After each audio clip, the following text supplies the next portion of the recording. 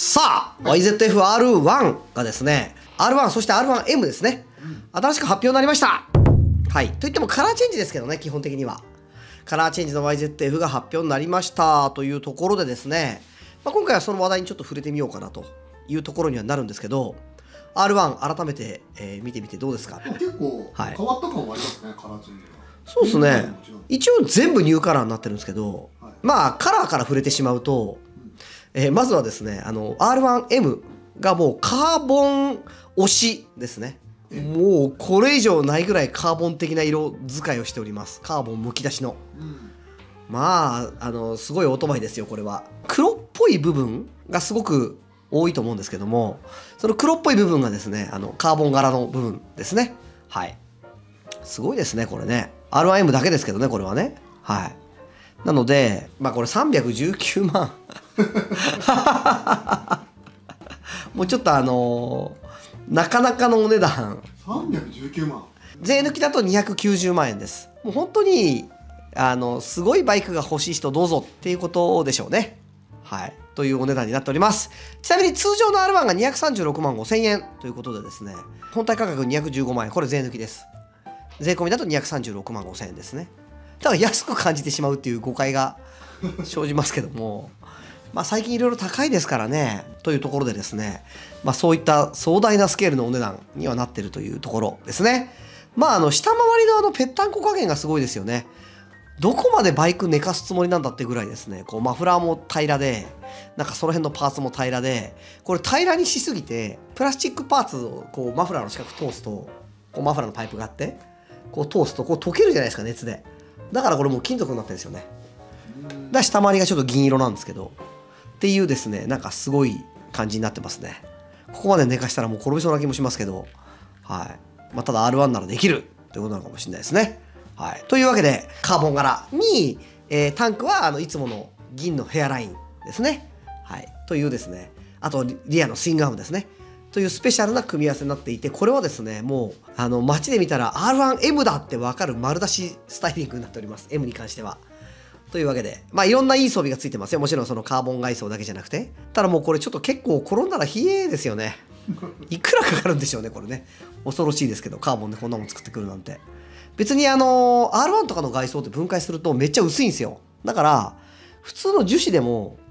軽いんで、どんだけ軽くなるのかこれっていう話もありますけど、にしてもまあそういう問題じゃないんですよね。はい。あの、所有欲を満たすシリアルナンバー入りなので、タンクの上面に。ということでですね。はい。ちょっとそういう感じでございます。そしてですね、えースタンダードの R1 がディープパープリッシュブルーメタリック C でございます。いつものやつですね。ヤマハの青になってるんですけども、ただですね、あの、マットの紺色、まあ、濃い青っていう表現がいいですかね。ほぼ黒に見えるような濃い青をですね、えアンダーカウル、そして、えフロントカウルの下側に配置していますね。はい。なので、ちょっとなんか新しく見えますよね、やっぱね。で、グラフィックもニューカラーで、あのちょっとこう水色っぽい色のシャッっていうのが入ってますけど、えー水平基調にね。あのデザインによく合わせてあってですね、かっこいいですね。この色かっこいいんじゃないですか、今回。そしてホイールもですね、青いホイールがついてるっていう感じですね。はい、になっております。さあ、続いてブラックメタリック X がやってまいりました。ツヤ黒ですよ、今回は。はい。ツヤ黒に下半分、アンダーカウルですね。アンダーカウルと、あとライトの下のところ、まあこれもあのブルーと同じ配色になりますけど、を、えーマットブラックで仕上げてきてるという感じの、えーカラーリングですね。まあ、今回もまあカラーチェンジがメインなんで、まあそんな感じであるんですけど、R1M とかしばらくほらなかったんですよ。車両が。なので、久々にオーダーができる環境っていうんですかね。はい、になってきてるような感じになっております。ということでですね、そんな感じで R1 新しくですね、発表になりました。11月21日発表ですね。11月の21日発表。今日じゃないですかね。はい、撮影日今日ですね。はい。そして発売がですね、1月ですね。1月の12日発売ということですね。ただ結構やっぱ正直その250台しかないんですよ、これ、国内で。なので、あの、非常にですね、ちょっとあの数が少ない感じですね。はい。ちょっともしかしたら欲しい方はって感じがしますよね。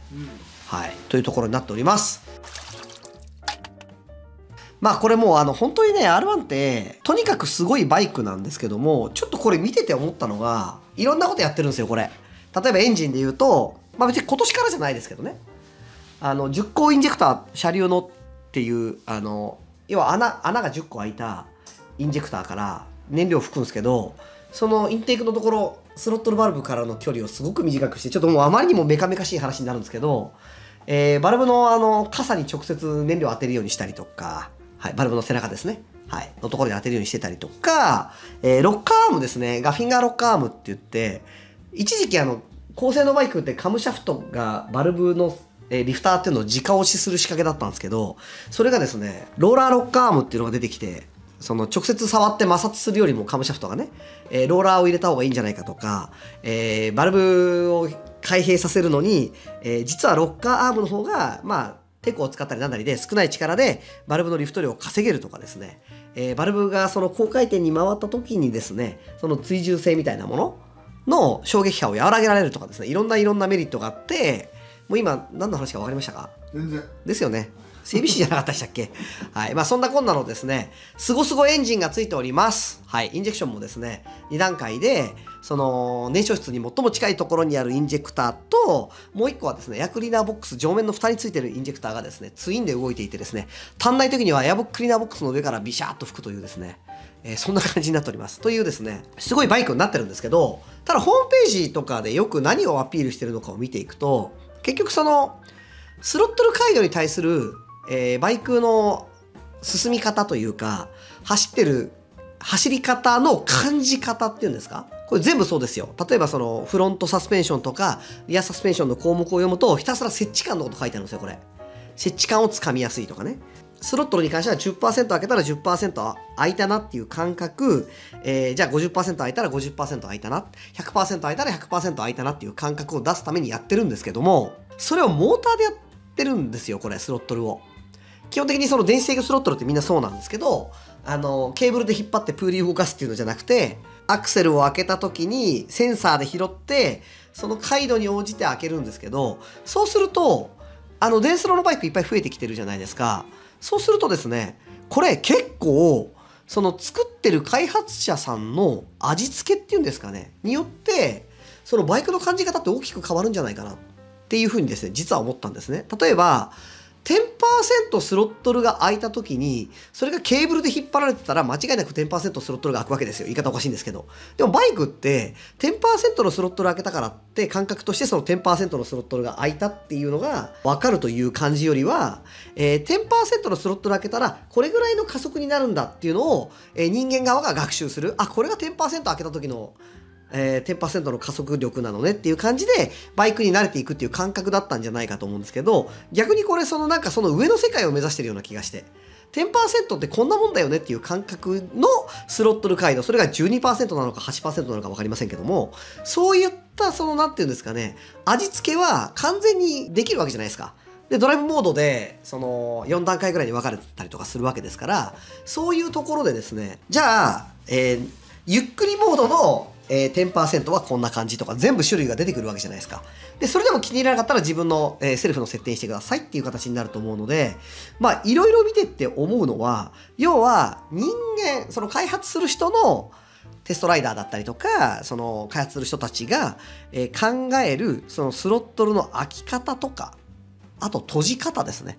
そこの味付けっていうんですか？そのエンジンブレーキのかかり加減すらコントロールするわけですからこのバイクは。というところでもちろん全てをスロットルだけでコントロールするわけじゃないかもしれませんけどもそういったところでですねすごくまたその人間の感覚の話になってくるんだと思うんですよね。だから例えばヤマハの車両もしくは他メーカーの車両があったとしてその同じような機構で動いてはいるんだけれどその味付けがですねよりその個性的になっていくかもしれないなっていうふうに思うんですよね。でそれを最もですねライダーのイメージするものはこうでしょっていうところにですねまああの開発として挑戦してるのがこのバイクって感じがしましたね。今回相変わらずホームページを見てみたりした時にですね。で、それが単にスロットルだけではなくて、すべてのものに対していろいろと制御していく、えー6軸の IMU がついてるんで、そこで例えばそのブレーキしかり、スロットルしかり、いろいろな部分ですね、をどこまでを許容して、どこまでを、えー NG とするのか、どこまでを人間にやらせて、どこまでを機械が介入するのかとかですね、そういったところがですね、無限に広がったねっていう感じがして、それに対して、えーライダーの意思通りに走ることをとことん追求しているっていうのが、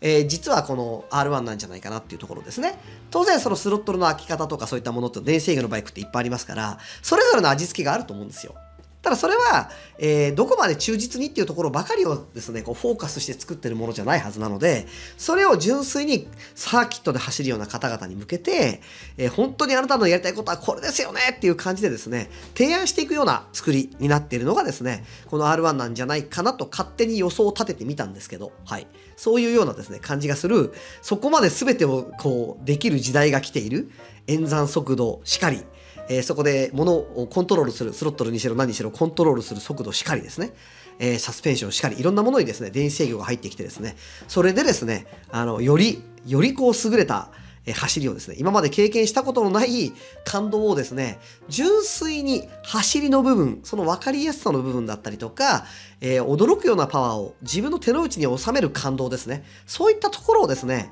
まあ、やらそうとしている。えーというところがですね、この R1 を買う意味の一つかなと思いました。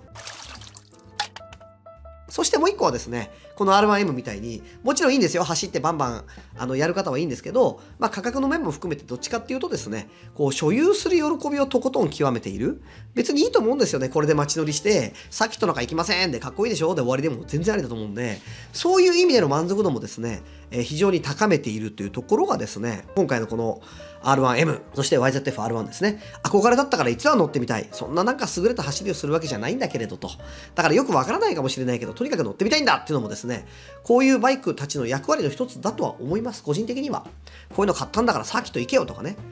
あの、そういうのばっかりじゃ面白くないので、はい。持つ喜び、そして見る喜び、写真を撮る喜び、いろんな喜び方があると思いますんで、はい。というふうにですね、まあ思いながら、ある意味究極のマシンというふうにですね、まあ、位置づけられてるだけあってですね、すごいですよ。ブレーキコントロールとかも直進でバーンとブレーキかけた時だけ制御してくれるやつもあれば、コーナリング中姿勢乱れた時にもですね、ブレーキガーンとかけて、その時もですね、なんとなく無敵じゃないですけど制御してくれる。そんな機能なんかもですね、ありますんで、本当にですね、どんどんどんどん機械によってですね、人間の限界をもしかしたら超えていくようなですね、制御をですね、味わっていける時代がやってきて、その先駆けと言えるマシンですね。ただ、えー忘れてはいけないのは、このバイクが多分とことん追求しているところはですね、その買った方、このバイクのオーナーがイメージする走りをどこまでリアルに再現できるかというところ、純粋にこのバイクをですね、その人の意のままに操れるようにするかっていうところをですね、一般のユーザーの方、いろんな人がいる中でですね、その万人向けにという言い方をしたらおかしくなりますけど、あの、本当にその方々に合わせて、どんな人でもですね、このオートバイをですね、楽しんでいただけるようにというですね、えーすごい高性能、ヤマハの究極の高性能ですね、を楽しんでいただけるように作ってあるスーパーカーというのがですね、この YZF-R1 なんじゃないかなと、今現段階では間違いなくね、あの、そうだと思います。というところがですね、まあ、ヤマハのスーパースポーツの魅力っていうんですか、なんじゃないかなと思いますんで、もしですね、そのヤマハイズムの一旦、いろんなヤマハイズムがあるんですけど、ヤマハイズムの中のですね、レースシーンの最高峰みたいなところですよね。高性能の究極の形をですね、市販車にフィードバックみたいなところをですね、味わってみたいのであればですね、まあ私はこの金額を出すのはですね、まあ出せる方にとってみれば、そんなに高い買い物じゃないのかなと思いながら、世界最高峰のバイクの一台だとは思いますんで、そういった意味ではですね、価値があるんじゃないかなと思いながらですね、えー今日はなぜかカラーチェンジなのにわけわかんない話になりましたけども、はい。まあ、とにかくすげえもんがいっぱいついてんぜーってことですね。はい。ということでですね、理解していただければいいんじゃないかなと思います。それでは今日はこの辺でお別れになります。また次の動画でお会いしましょう。さよなら。